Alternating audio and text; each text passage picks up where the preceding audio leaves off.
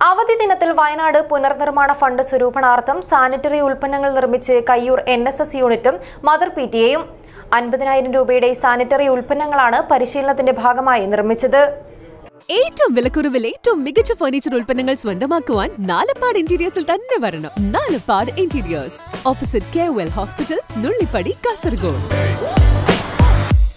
Kayyur higher secondary N S S യൂണിറ്റിന്റെ ആഭിമുഖ്യത്തിൽ വയനാട് പുനർനിർമ്മാണ ഫണ്ട് കണ്ടെത്തുക വനിതകളുടെ സംരംഭകത്വ ശേഷി പരിപോഷിപ്പിച്ച് സ്വയം പര്യാപ്തത കൈവരിക്കുക എന്നീ ലക്ഷ്യങ്ങൾ മുൻനിർത്തിയാണ് സ്കൂളിലെ എൻ എസ് എസ് വളണ്ടിയർമാരും മദർ പി ടി എ അംഗങ്ങളും സാനിറ്ററി ഉൽപ്പന്നങ്ങളുടെ നിർമ്മാണ പരിശീലനം നടത്തിയത്.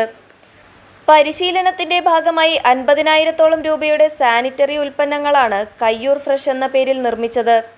Dish wash cloth wash hand wash toilet cleaner colour phenyl എന്നിവ ഇവയിൽ ഉൾപ്പെടും.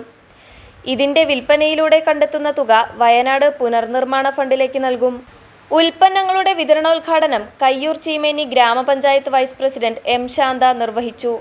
കുട്ടികളുടെ വിദ്യാഭ്യാസം ഉറപ്പുവരുത്തുന്നതിനും അതുപോലെ തന്നെ അവർക്ക് താമസിക്കാൻ ആവശ്യമായിട്ടുള്ള ഭവനങ്ങളെല്ലാം തന്നെ തയ്യാറാക്കുന്നതിനൊക്കെ വേണ്ടി നമ്മുടെ രാജ്യം ഒന്നാകെ ഒറ്റ മനസ്സോടുകൂടി പ്രവർത്തിക്കുന്ന ഒരു ഘട്ടത്തിലാണ് കയ്യൂർ വൊക്കേഷണൽ ഹയർ സെക്കൻഡറി സ്കൂളിലെ എൻ എസ് എസ് യൂണിറ്റും അതുപോലെ തന്നെ നമ്മുടെ വിദ്യാലയത്തിലെ മദർ പി ടിയും ചേർന്നുകൊണ്ട് വയനാട്ടിലെ ജനങ്ങളെ സഹായിക്കുന്നതിന് വേണ്ടിയിട്ടുള്ള ഒരു കൈത്താങ് എന്നുള്ള നിലയിൽ നമ്മളിവിടെ സാനിറ്ററി ഉൽപ്പന്നങ്ങൾ ഉണ്ടാക്കിക്കൊണ്ട് തന്നെ അത് വിറ്റ് കിട്ടുന്ന കാശ് വയനാട്ടിലെ ജനങ്ങളെ സഹായിക്കുന്നതിന് വേണ്ടി നൽകുക P T A president T V Rajan അധ്യക്ഷത വഹിച്ചു.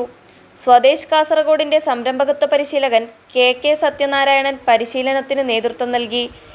S M C chairman K V Lakshmanan mother P T A president Dhanya K senior assistant Vijayan K എന്നിവർ സംസാരിച്ചു. പ്രോഗ്രാം ഓഫീസർ പ്രണാബ് കുമാർ സ്വാഗതവും വളണ്ടിയർ സെക്രട്ടറി നഷ ഫാത്തിമ നന്ദിയും പറഞ്ഞു. News bureau Cheruvathur.